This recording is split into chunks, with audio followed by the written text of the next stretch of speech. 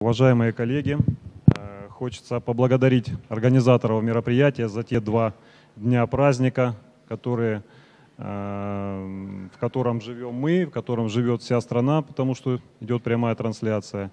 И э, учреждение является первый мед флагманом и локомотивом развития новейших технологий в России.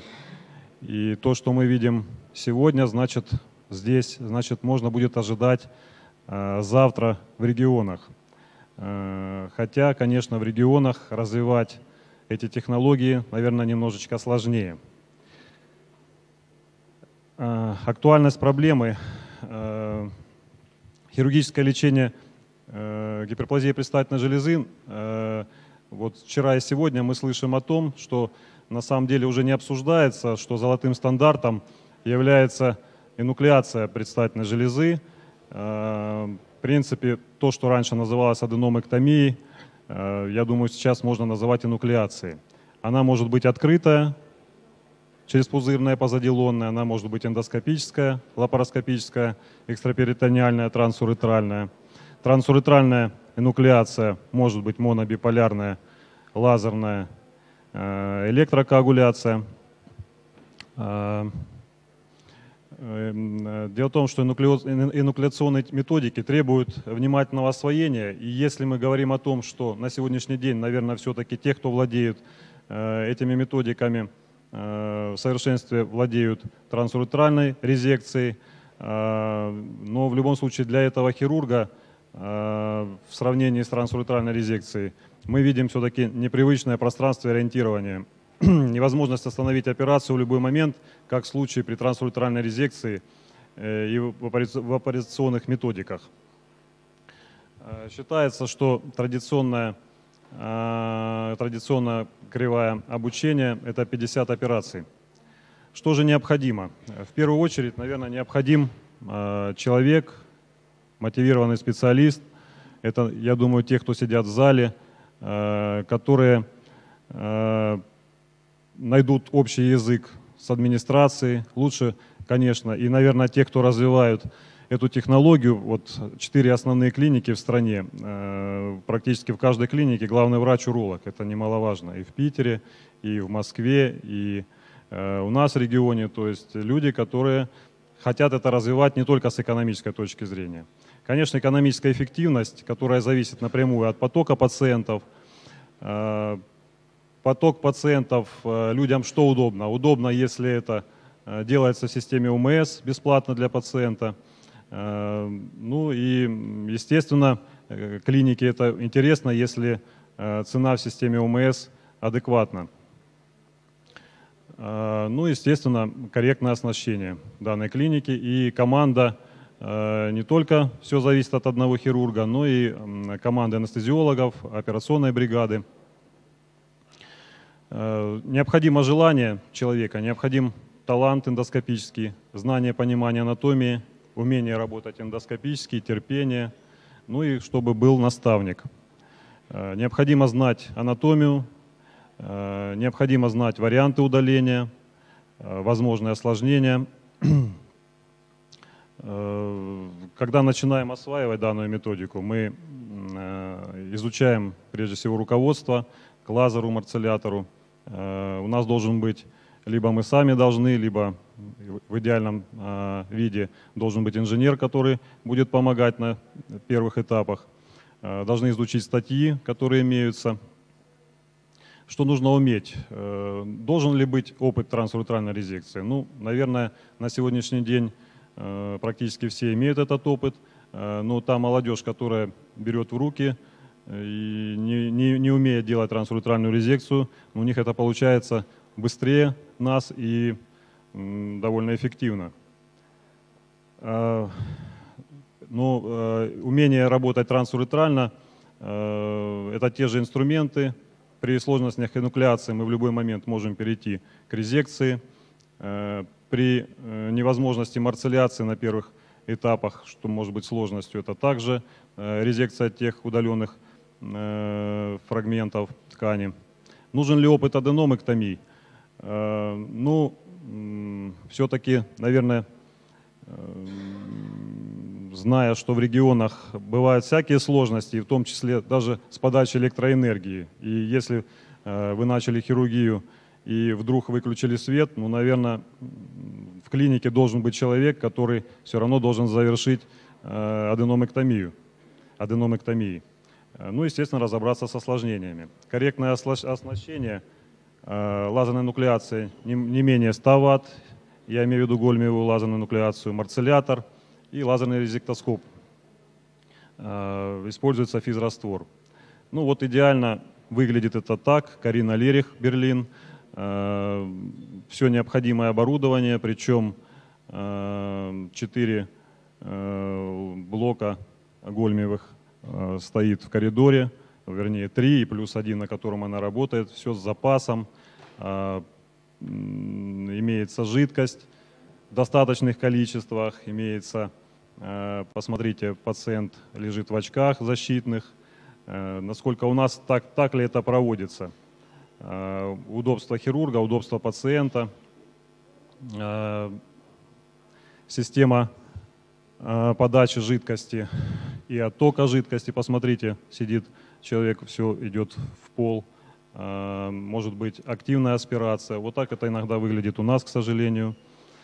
Э, идеальный тренинг обучения специалиста. Э, первый этап – это обучаемый находится у тренера, знакомится с методикой, получает базовые сведения, затем какие-то базовые навыки, в том числе подготовка бригады, курс для операционных сестер. Далее тренер может приехать к обучаемому, это совместная работа в операционной, э, это может быть неоднократно общение с тренером, э, формирование четкого навыка, преодоление кривой обучения. Обучаемый э, в дальнейшем при наличии уже навыков необходимо попасть к эксперту мирового уровня, что, естественно, позволяет делать эти операции быстрее и качественнее. Э, ну вот э, фотографии, это первые наши специалисты из России, э, в Лондоне обучаются. Я думаю, может быть, кто-то узнает себя здесь. Вот такие есть симуляторы. В России пока таких симуляторов нет.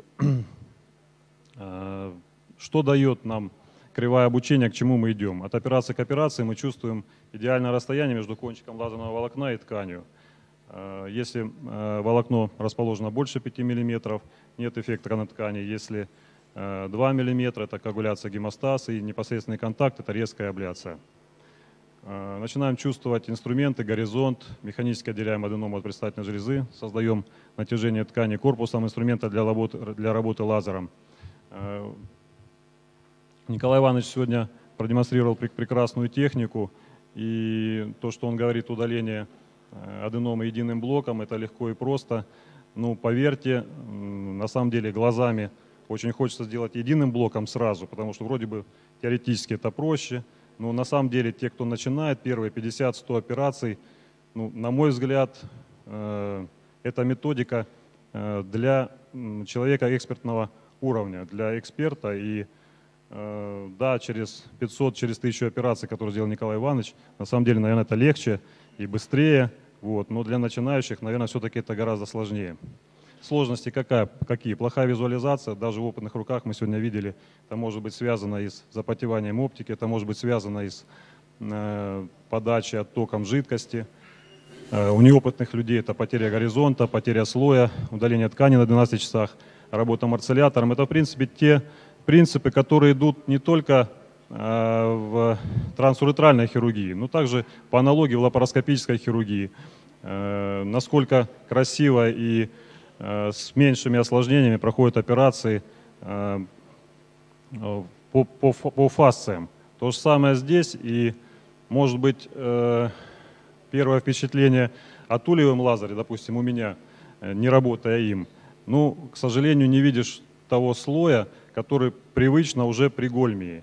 И, э, естественно, в, опытных руках понимаешь, что э, ну, Николай Иванович не промахнется, будет идти четко в слою. Но если я начинаю осваиваю, на, на самом деле, наверное, первые вот эти, э, первое знакомство, ну, больше вопросов даже, чем с Гольмиевым. Должна быть деликатная техника, э, естественно, э, минимизировать травму э, слизистой уретры, шейки мочевого пузыря. Может быть повреждение капсулы до 10%, подрыв под шейку мочевого пузыря, надрывы слизистой мочевого пузыря марцелятором, незначительное повреждение устья мочеточников, недостаточно полная марцеляция.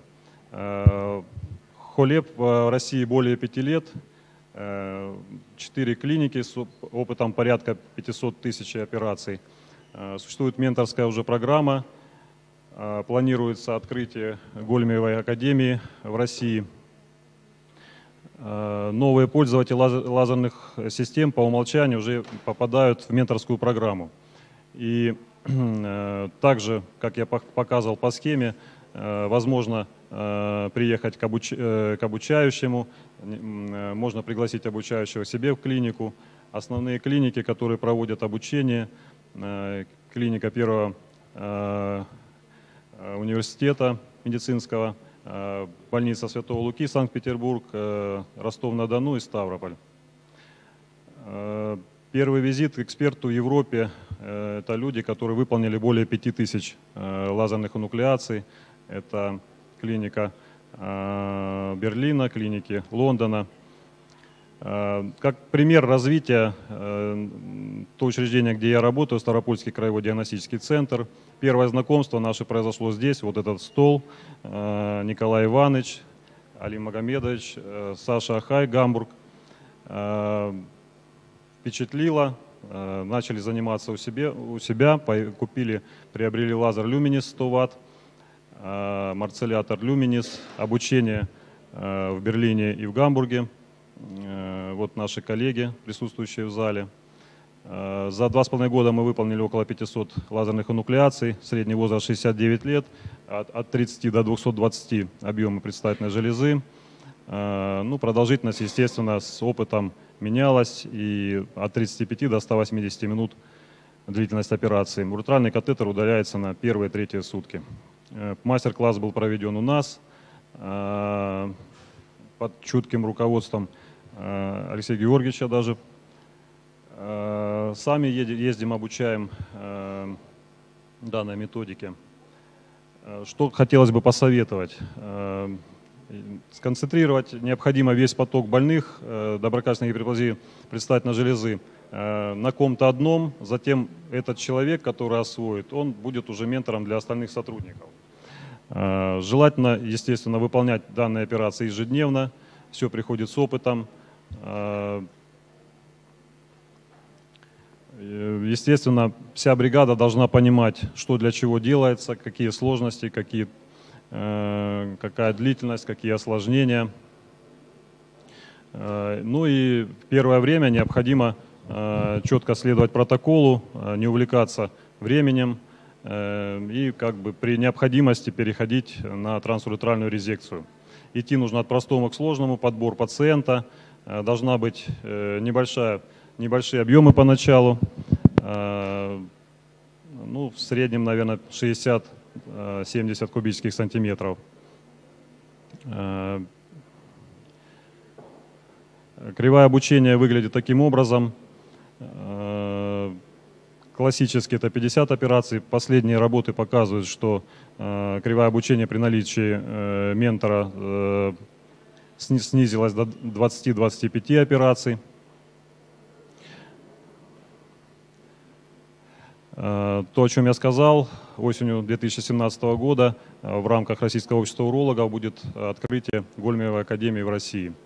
Академия готова предложить не только обучение лазерной нуклеации, но и мини-микроперкутанной нефролитотрепсии, уретероскопии, гольмиевой вапоризации предстательной железы. Говорю, чуть-чуть. Э, и выводы кривое обучение требует желания специалиста, возможности клиники, наличие в клинике мотивированной команды, наличие у хирурга опыта как открытых, так и эндоскопических вмешательств, ну и в помощь поэтапная менторская программа «Люминис». Э, я рад, что э, нас становится все больше и больше. Спасибо за внимание.